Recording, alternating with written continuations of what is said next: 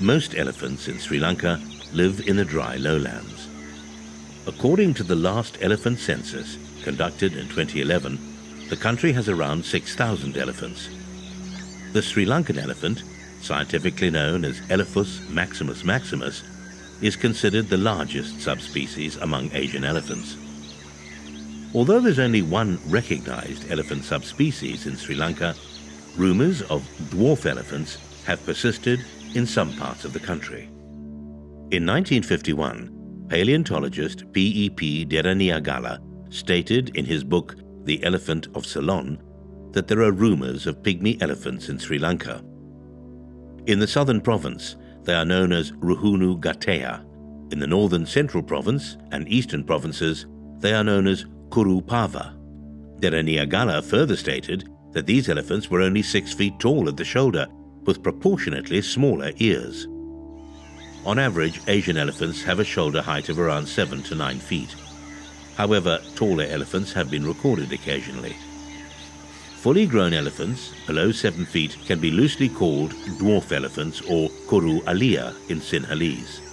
In fact, in 1955, Deraniyagala presented this picture of a dwarf elephant.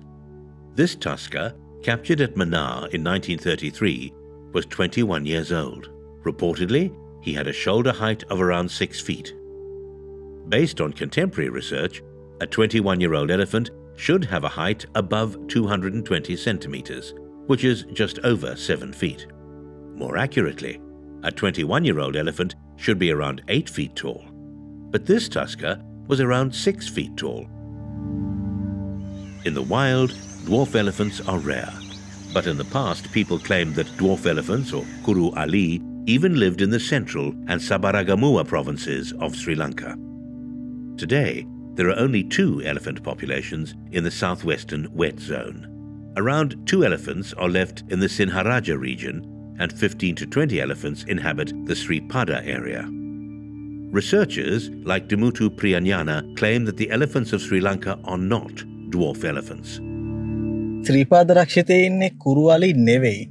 කුරුවලින් යැයි මතයක් හැදිලා තියෙන්නේ ශ්‍රීපාදය කියන්නේ කඳුකර වනාන්තරයක් නිසා කඳුකර වනාන්තරයේදී එතොට අලියා කියන දැවන්ත ශරීරයක් හෙබි සතෙක් එතරේ සත්වයාට යන්න මේ මාර්ගයක් නිසි මාර්ගයක් නොමැති නිසා ශරීරයෙන් කුඩා අලි ඇතැයි කියන විශ්වාසය මත කුරුවලින් ඉන්නවා කියන විශ්වාසය තමයි මේ මතයක් තිබෙන නමුත් කුරුවලිය කියන්නම ජාන විකෘතිය දැනට ශ්‍රී ලංකායෙන් වාර්තා වෙලා තියෙන්නේ කුරුවලියෙක් විතර උඩවලව ජාතික වනෝද්‍යානය වෙසන කුරුවලියා. ඒ හැරුණකොට මම නිවැරදි නම් ලෝකේනුත් කුරුවලියෙක් වාර්තා වෙලා නැහැ. The dwarf elephant, discovered at the Uduwalawe National Park in 2013, was a genuine dwarf elephant. It was only just over 5 feet tall, with short, stubby legs. They also claimed that since his limbs were disproportionately short compared to his upper body, his condition was called disproportionate dwarfism. Here's an example of proportionate dwarfism. This dwarf elephant was reportedly kept at the Temple of the Tooth in Kandy. However, no measurements are available. During colonial times, James Tennent stated that a dwarf elephant was caught in 1880, which supposedly had a height of 4 feet and 10 inches. And in the People's Magazine, published in 1880, it said that a Dutch correspondent mentioned a caste of elephants that were not higher than a heifer, covered with hair and untamable. A heifer is a young female cow with an average height of around four and a half feet. Recent records of sightings of dwarf elephants persisted from the 1950s to the 2000s. For instance, in the 1950s, a female dwarf elephant in the southern province of Sri Lanka. It said that she made a peculiar sound and was also deaf. However, this elephant disappeared in 1958. Occasional records of other dwarf elephants emerged in the 1980s and 1990s. During the Pleistocene, several elephant species isolated on islands in the Mediterranean underwent rapid dwarfing. For instance, in Sicily and Malta, there lived a dwarf elephant species known as Paleoloxodon falconeri. Known as one of the smallest dwarf elephants, fully grown adults were only 3 feet tall. Experts believed that their size decreased due to island dwarfism.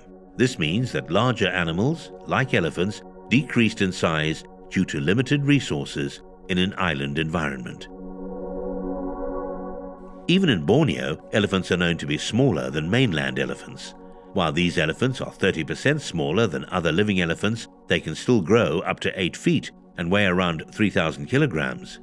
Also known as Borneo pygmy elephants, the word pygmy is somewhat misleading because it denotes their size in proportion to other large Asian elephants. Nonetheless, on the island of Sri Lanka, elephants were not affected by island dwarfism or insular dwarfism. Instead of decreasing in size, Sri Lankan elephants grew larger. Today, they are known as the largest Asian elephant subspecies. In an island occupied by proportionately large elephants, it's questionable why rumors about dwarf or pygmy elephants persisted for so long. So, did a mysterious race of dwarf elephants live in Sri Lanka? Unless solid evidence is found, we may never know.